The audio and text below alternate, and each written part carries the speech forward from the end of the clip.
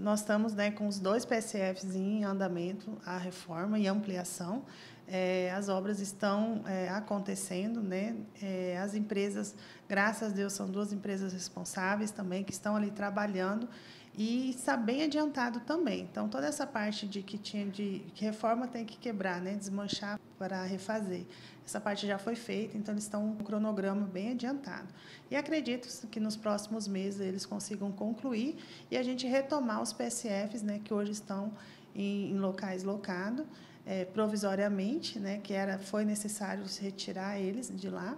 E acredito que nos próximos meses aí eles vão estar retomando aí a sua sede, a, o PSF 1 e o PSF 3 da Mangueira.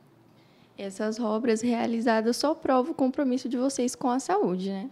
Com certeza, não só com a saúde, como para com os funcionários também. Nós estávamos com os dois prédios com, com problemas que eram feitas apenas manutenções paliativas. Então, assim, nós estávamos com os dois prédios com problemas sérios, né? E a gente correndo o risco do próprio funcionário, né? De, do trabalho do funcionário. Então, assim, além né, de proporcionar um local adequado, um local, um ambiente agradável para os funcionários trabalharem, a gente para a população também, que, né, que é o, o usuário desses locais. Então, a gente fez aí esse compromisso, corremos atrás de fazer o projeto de reforma, ampliação, algum ali precisava adequar e deu certo, né? Ficamos aí dependendo da aprovação da vigilância sanitária, que foi um custo, né, isso acontecer, mas graças a Deus já aconteceu.